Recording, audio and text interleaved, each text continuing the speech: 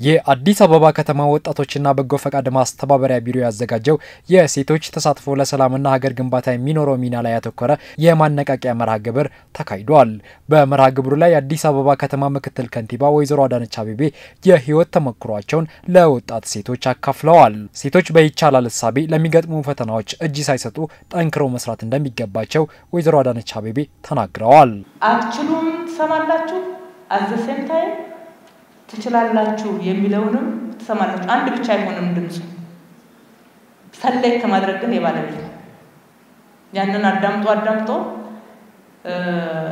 የትኛውን መወሰን ይገባኛል የሚለውን መወሰን ደግሞ የባለቤት ነው ማለት ነው።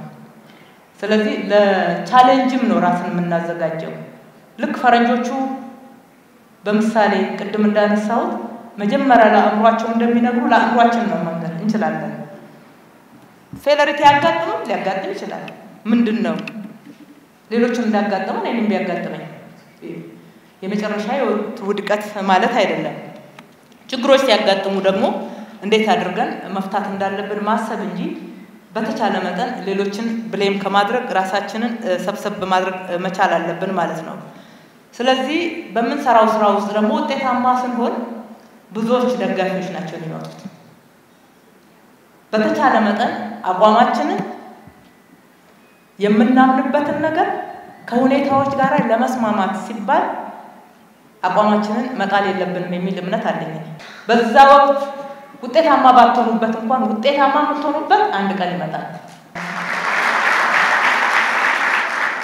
ሴቶች ለሚያከናውኗቸው ተግባራት ግብ አስቀምጠው መስራት እንደሚገባቸው የጠቀሱት ምክትል ከንቲባዋ በሕይወት መንገድ ችግሮች ሲገጥሙ ወደ ኋላ ከማፈግፈግ ይልቅ አማራጮችን መመልከት እንደሚያስፈልግም ገልጸዋል። በፍጹም ግን እንደ ተስፋ መቁረጥ የመጀመሪያ ውጤታማ እንዳልሆነ የሚያደርግ እንቅፋት የለም።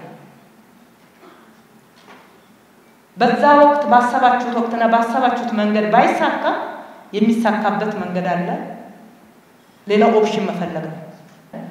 ሴቶች ደግሞ እርስ በርስ መረዳዳትን፣ መገነዛዘብን፣ መበረታታትን እህትሽ ላይ የምታዩን መልካም ነገር እሱን ማድነቅን የምታዩን ደካማ ጎን ደግሞ በአንቺ ብርታት መሙላትን እንዲህ እየተባባላችሁ መበረታታት ያስፈልጋል።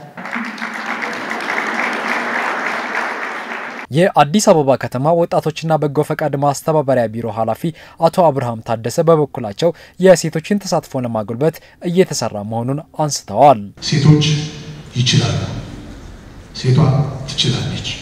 ይህን ለማድረግ ደግሞ በተለይም ባለፉት ሶስት ዓመታት በሀገራችን ለውጡ ከተረጋገጠ በኋላ የሴቶች ተሳትፎ በተገቢው መንገድ እንዲረጋገጥ ተሳትፎ ደግሞ በብቃትና በችሎታ ላይ የተመሰረተ እንዲሁም በማድረግ ትልቅ ውጤት እንዲመዘገብ ለውጡ የሰጠን ትሩፋት ነው። የመድረኩ ተሳታፊ ሴቶች ከመርሃ ግብሩ ለሕይወት ስንቅ የሚሆን ትምህርት ማግኘታቸውን ተናግረዋል። ከዛሬው መድረክ ያገኘሁት ሴት ልጅ ሁሉንም ነገር ማድረግ እንደምትችል ምንም ነገር struggle ቢኖሩም ማንኛውም እሷን ወደ ኋላ ሊይዟት የሚችሉ ማንኛውም ነገሮች ቢኖሩ እሱን ነገር አልፋ ወደፊት መሄድ እንደምትችል ወንዶች ሊያደርጉት የሚችሉትን ከዚያም በላይ ማድረግ እንደምትችል ተምሬያለሁ። መመለስን እንደሌለብኝ ፊቴን በቃ ፊት ለፊቴን መማርም እንደምችል በትዳር ዓለም ውስጥ የሚመጡትን ሳንቃዎች ሁሉ እንዴት ማለፍ እንደምችል በቃ እኔን እንዳይን ያደረገችኝ ዛሬ ላይ በእያንዳንዱ ህይወት መስክ ላይ የሚያጋጥሙ ችግሮች እንዳሉ እነዛን እንዴት